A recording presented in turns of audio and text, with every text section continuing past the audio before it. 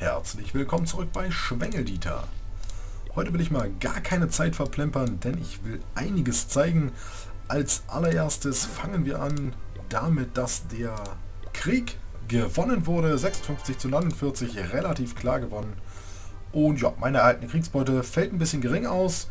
Einfach aus dem Grund, dass ich den zweiten Angriff vergessen habe. War aber kein Problem, denn hier unten war sowieso schon alles gemacht. Also ich hätte nichts mehr holen können. Aber ich hatte natürlich eigentlich geplant, noch Loot-Angriff zu machen. War jetzt ein äh, bisschen äh, dumm von mir, aber gut. So, der Angriff auf uns. Äh, zwei Nummern höher, wir sind die 17, das war die 15. Drachenangriff, nichts Spektakuläres, brauche ich nicht wirklich zu zeigen. Aber was ich unbedingt gerne zeigen möchte, unsere Nummer 1, Moritz, ihr kennt sie schon, hat bei deren Nummer 1 einen 3-Sterne-Angriff gemacht. Und jetzt schauen wir uns das mal ganz kurz hier an. Das ist ein Rathaus 10er. Ja, also schon ähm, ja, relativ äh, kräftig. Gut, ich meine, äh, seine äh, Inferno-Türme sind nur Level 1. Also er ist ganz frisch Rathaus Level 10, beziehungsweise vielleicht ist es auch einfach ein äh, Rusher, das kann schon sein. Aber es bleibt ein Level 10er und Moritz ist auch ein Level 10er und deswegen äh, bin ich hier sehr gespannt. Ich muss mal ganz kurz auf die Stufe gucken. 113, ja, okay. Ja, also scheint schon ein bisschen Level 10 zu sein. Zumindest den Golem 5 hat er bereits. Aber sonst noch nicht wirklich viel. Die Helden sind auch zu niedrig. Wir schauen uns den Angriff mal an, denn den fand ich wirklich sehr beeindruckend. Wir gucken gleich mal von hier unten.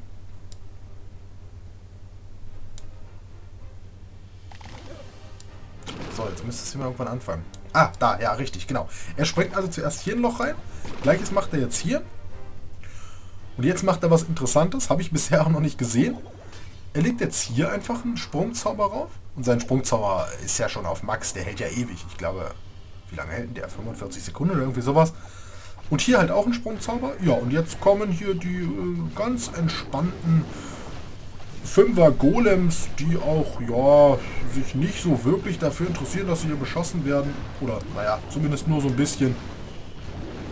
Hier natürlich das gleiche. Und hier packt er auch welche. Und hier schickt er jetzt noch ein paar Mauerbrecher. Das wirklich von der gesamten unteren Seite hier, äh, dass da der Angriff erfolgen kann. Also finde ich wirklich einen sehr, sehr schönen Angriff. Hier natürlich die extrem hohen Helden. 2023 ist natürlich eine wirklich sehr, sehr gute Größe. Und auch hier jetzt noch ein Sprungzauber und das heißt, die Golems ganz entspannt rüber, auch der Barbarenkönig ganz entspannt rüber. Und jetzt hatte ich ja natürlich so ein bisschen Problem, denn die Inferno-Türme, der hier ist auf Multi gestellt, der andere ist gerade eingefroren. Ähm, aber, der andere ist übrigens auch natürlich auf Multi, aber ähm, der konnte ja halt nicht schießen. Zum Glück hat die Queen das halt wirklich geregelt und naja, ich sag mal so, auf Level 23. So, jetzt kommt ja etwas ganz Lustiges. Äh, die Queen wird hier gebunden an dem Lavahund. Ja, dafür packt man ihn ja auch hin. Ja. Und jetzt wird es eigentlich relativ knapp. Also wenn ich das jetzt hier sehen würde, würde ich erstmal denken, okay, Kollege, du hast auf jeden Fall zu viele äh, Golems mitgenommen. Ja, vier Golems sind noch am Leben und noch drei Magier. Ne, vier Magier sind es noch. Äh, das ist natürlich nicht besonders beeindruckend. Aber hier ist halt äh, noch die Queen. Und die kann er noch zünden. Und das schafft er natürlich auch. So gut ist er ja. Er hat hier sogar zwei Giftzauber raufgeworfen. Aber ähm, gut, ich sag mal, hier hätte man sicherlich andere Zauber mitnehmen können, die da vielleicht noch ein bisschen mehr gebracht hätten. Er hat natürlich hier auch ein gewisses äh, Quäntchen Glück, das darf immer nie fehlen. Ne? Dass hier der Magierturm zum Beispiel auf die Golems geht, während die Queen mit kaum noch Leben hier sehr entspannt äh, die Gebäude wegschnetzeln kann. Genauso, dass die Magier hier ganz, noch ganz äh, relaxed außen rumlaufen, dass der Magier hier unten nicht angegriffen wird und auch als wirklich als erstes diesen Turm angreift. Okay, er hat ihn natürlich auch erst gerade gesetzt, das heißt, äh, das spricht natürlich dafür, äh, dass er ihn auch gut setzt. Aber super Angriff, Glückwunsch dazu nochmal, beziehungsweise Glückwunsch an uns alle, also äh, davon haben wir ja alle im Endeffekt profitiert. Aber sehr, sehr schöner Angriff. So, hier können wir jetzt mal rausgehen. Und ja, er hat auch noch einen wirklich schönen Angriff auf die Nummer 2 gemacht. Ebenfalls drei Sterne. Ja, Die Nummer 2 ist gar nicht mal so weit hinter der Nummer 1. Äh, denn es ist zwar noch Rathaus Level 9, daher fehlen die Inferno-Türme. Äh, und okay, man muss dazu sagen, die Queen und King sind natürlich schon noch, beziehungsweise King ist ungefähr gleich, aber Queen ist schon noch ein paar Levelchen drunter. Ähm, Mir fällt aber gerade auf, dafür sind die X-Bögen höher. Also, auf jeden Fall auch kein, äh, keine Garantie, dass das eben hier drei Sterne werden. Und hier macht er eine andere Technik. Lavaloon, ich glaube, die hatten wir schon mal, bin ich jetzt gar nicht so sicher. Auf jeden Fall eine sehr interessante Technik. Ich finde es auch interessant, dass er sich hier dafür entscheidet, ja, für Lavaloon.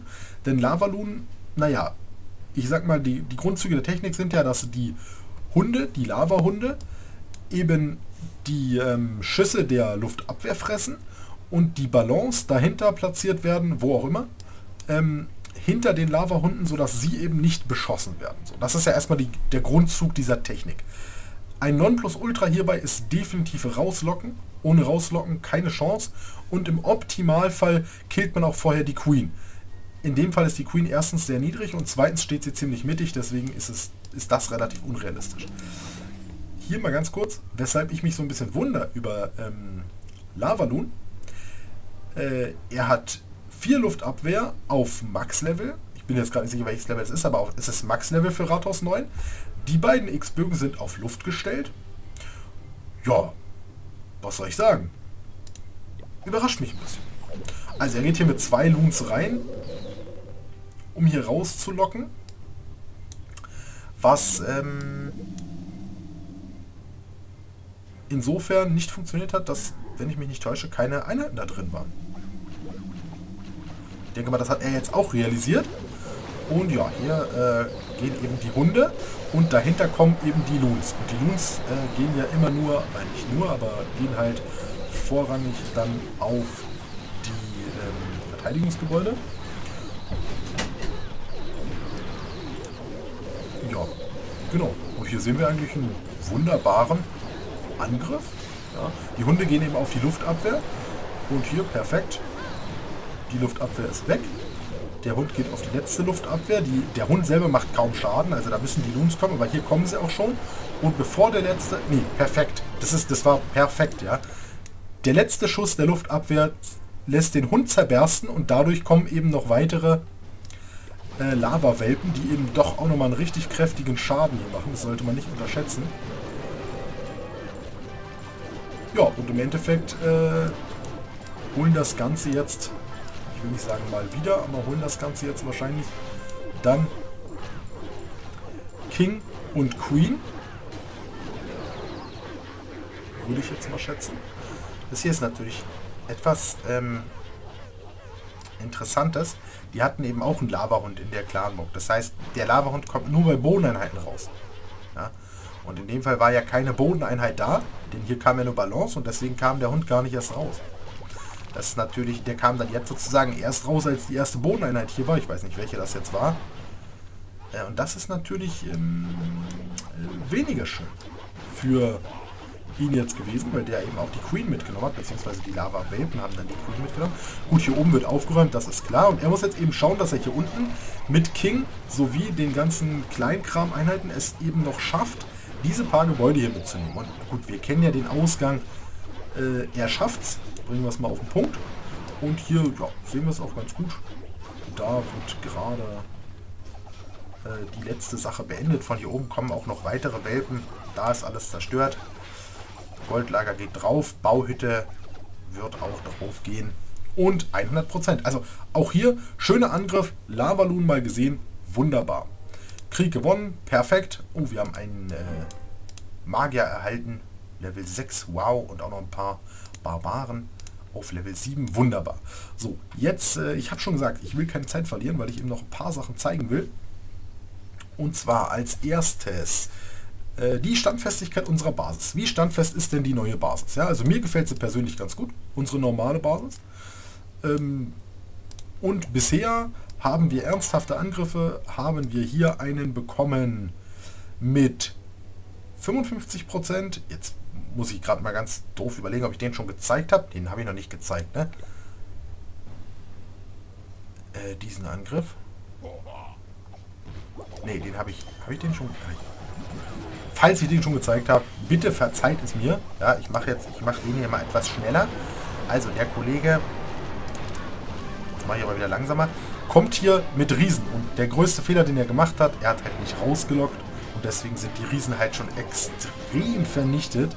In diesem Fall, er hat zwar einen Heilzauber dabei, aber auch nur einen. Und den setzt er hier auf die Barbaren. Oh mein Gott. Gut, also hier haben wir einfach eine Gurke im Angriff, ganz klar. Der, der Heilzauber hat natürlich auf die Riesen gehört und nicht auf die Barbaren. Gut, okay, er hat sich wahrscheinlich gedacht, naja, Hauptsache die Barbaren kriegen hier noch ein bisschen was.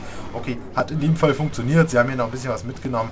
Aber äh, gut, die Riesen haben natürlich hier keine Chance. Und das, was er gewonnen hat, hier 23.000, 52.000, bisher gewonnen hat, vielleicht kommt ja noch ein bisschen was dazu, aber ich glaube nicht. Also nichts mehr wirklich beeindruckendes. Das, was er hier geholt hat, ist nicht viel. Mit der Armee hätte er meiner Meinung nach auf jeden Fall mehr schaffen können. Der King ist auch schon Level 3, überlebt im Verhältnis wirklich relativ lange. 55 Prozent, das heißt, er hat uns auf jeden Fall ein schönes Schild gegeben und das ist perfekt. So, dann haben wir hier den nächsten Kollegen, der 51 Prozent geholt hat und der kam mit äh, 100 Bobbers, 100 Bogies und ebenfalls einem Level 3 King. So, hier, das ist das, was er gesehen hat. 56k Gold hätte er holen können, 74k Elixier. Hm. Muss ich sagen, hätte ich jetzt persönlich nicht angegriffen, aber jedem das seine. Gut, ich meine, seine Armee ist nicht viel wert, muss man auch dazu sagen. Und ja, er verteilt hier eben ganz krass. Und wir haben hier äh, Max Schweine in der Clan. Das ist suboptimal, weil Max Schweine machen zwar viel Schaden. Geil, dass sie hier direkt den King angehen und der sofort weg ist. Aber gegen einzelne Einheiten sind halt die Schweine einfach nicht gut.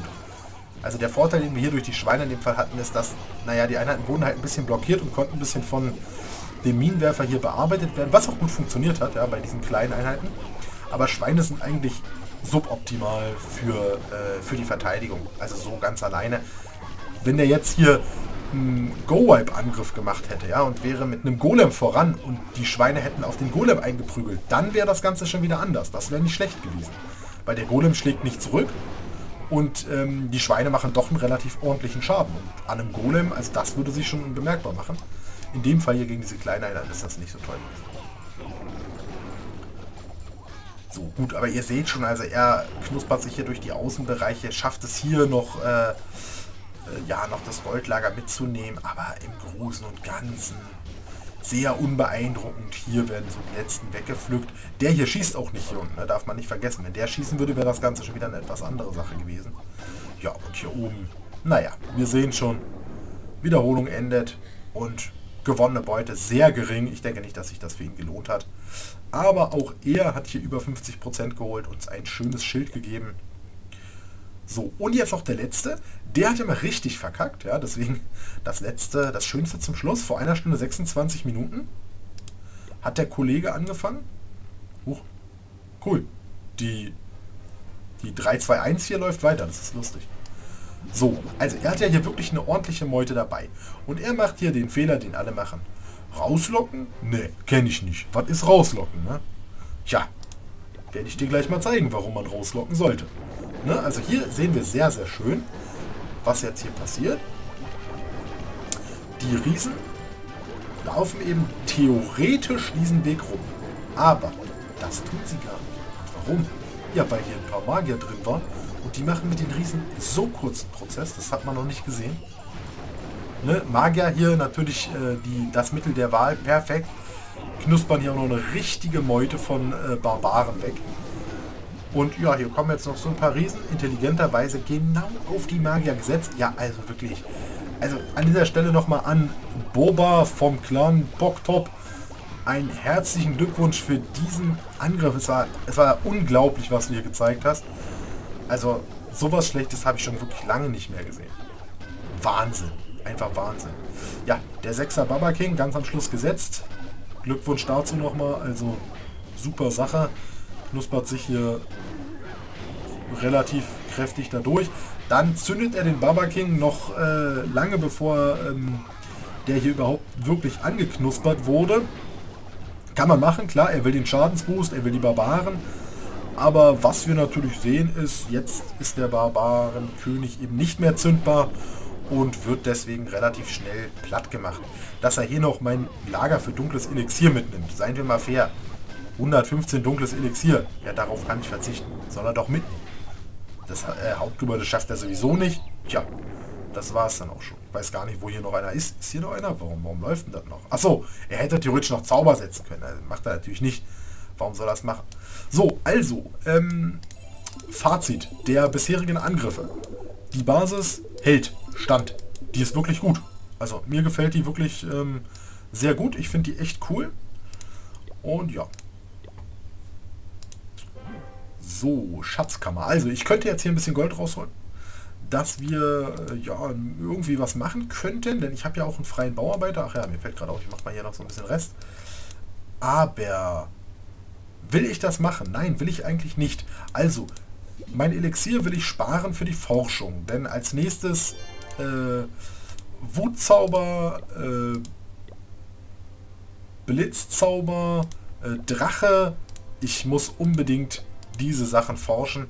Da möchte ich jetzt nicht äh, das für irgendwelche anderen Sachen ausgeben. Das Elixier. Gold. Ja, Gold. Ähm, meine Kanonen sind abgegradet. Das heißt, da kann ich jetzt keine mehr machen mit 400.000. Und das nächst günstige, was günstigste, was ich machen könnte, wären 720.000 für einen Bogiturm. Also, abgesehen jetzt mal von den Pfeilen und natürlich von den Mauern. Ähm, ja, der Luftfeger geht auch nicht günstiger. Also, das wäre so das nächste, was ich machen könnte. 720k, äh, ja, ich lasse es. Denn ich möchte eigentlich jetzt als nächstes meine Luftabwehrtürme alle auf 5 bringen. Das ist ja dann auch das maximale Level. Einfach mit dem Hintergrund, wie ich gerade schon gesagt habe, ich wurde im Clankrieg schon wieder von Drachen platt gemacht und ich will zumindest meine größtmögliche Abwehrstärke haben und das heißt natürlich, die Luftabwehr muss jeweils eine Stufe hoch. So, äh, das war eine sehr schnelle Folge. Ich habe sehr viel und sehr schnell versucht zu reden, damit wir alles unterbekommen, aber jetzt sind wir auch am Ende und ich bedanke mich bei euch fürs Zuschauen und bis zum nächsten Mal. Euer Schwengeldieter.